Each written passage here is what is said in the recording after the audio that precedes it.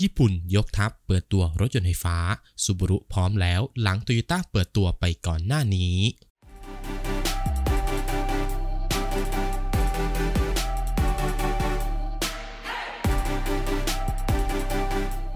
หลังจากที่ทางโตโยต้าเปิดตัวรถยนต์ไฟฟ้าล้วนคันแรกของค่าย ซึ่งเป็นโมเดลที่จะใช้จำหน่ายแบบ global อย่าง Toyota BC4X ไปเมื่อช่วงวันที่ 30 ตุลาคม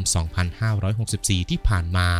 พร้อมกับกางแผนการตลาดสำหรับจำหน่ายอย่างเป็นทางการในช่วงกลางปี 2022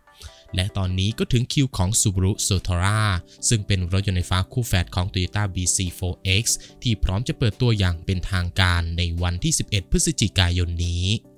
สำหรับรถยนต์ไฟฟ้ารุ่นดังกล่าวของ Subaru นั้นมีชื่อเต็มๆว่า Subaru Sotora All Electric Crossover ซึ่งเป็นรถยนต์ไฟฟ้าคันแรกของค่ายดาวลูกไก่ที่จะถูกนำออกสู่ตลาดในฐานะรถยนต์ไฟฟ้าล้วนในตลาด global สำหรับ Subaru s e r t o r a นั้นถูกพัฒนาโดยใช้พื้นฐานเดียวกันกับ Toyota bZ4X ทั้งสองค่ายนั้นร่วมกันพัฒนาโดยใช้จุดเด่นของแต่ละค่าย ตัวรถถูกพัฒนาภายใต้แพลตฟอร์ม e-Subaru Global Platform ส่วนฝั่งของ Toyota นั้นจะเรียกว่า e-TNGA ด้วยเหตุนี้จึงทำให้รถยนต์ทั้งสองคันนั้นแทบไม่มีความแตกต่างกัน โดยเฉพาะการออกแบบตัวทางภายนอกที่ถอดแบบกันมาแบบเป๊ะๆ ยกเว้นไฟหน้าและไฟท้ายของรถ ที่ถูกออกแบบให้มีเอกลักษณ์ที่ต่างกัน และนอกจากภายนอกแล้วภายในนั้นก็แทบจะเรียกว่าไม่มีความแตกต่างกัน ซึ่งอาจจะมีบางจุดเล็กน้อยเท่านั้นที่มีการตกแต่งในแบบฉบับของตนเอง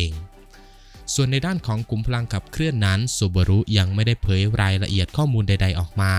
แต่เนื่องจากว่ารถยนต์ไฟฟ้ารุ่นดังกล่าวนั้น ถูกพัฒนาคู่กันมากับ Toyota BC4X จึงมีความเป็นไปได้ที่ค่อนข้างสูงที่กลุ่มพลังนั้นจะเป็นแบบเดียวกันกับที่ใช้ใน Toyota BC4X โดยทางฝั่งของ Toyota นั้นจะมี 2 ขุมพลังทางเลือก คือรุ่นขับเคลื่อน 2 ล้อหน้า ติดตั้งมอเตอร์ไฟฟ้าที่ให้กำลังสูงสุด 204 แรงม้า พร้อมแรงบิดสูงสุด 265 นิวตันเมตร และรุ่นขับเคลื่อน 4 ล้อแบบ all wheel drive มาพร้อมกับมอเตอร์คู่ที่ให้กำลังสูงสุด 217 แรงม้า พร้อมแรงบิดสูงสุด 336 นิวตันเมตร อย่างที่เราทราบกันว่าจุดเด่นและจุดขายของ Subaru นั้น คือระบบขับเคลื่อนสีล้อ ที่ถือเป็นสิ่งที่สร้างชื่อให้กับทางค่าย จึงมีความเป็นไปได้ว่า Subaru s o t r a นั้น อาจจะมีการทำตลาดเฉพาะรุ่นที่ขับเคลื่อนสีล้อเท่านั้น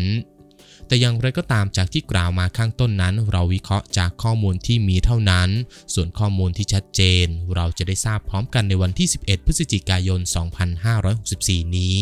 และมาลุ้นกันต่อว่าซูบารุนั้นจะมีแผนวางจำหน่ายในประเทศไหนบ้าง ไทยเราจะเป็นหนึ่งในนั้นหรือเปล่า เมื่อมีการอัปเดตเพิ่มเติม เราจะนำมารายงานให้ได้ทราบกันอีกครั้งครับ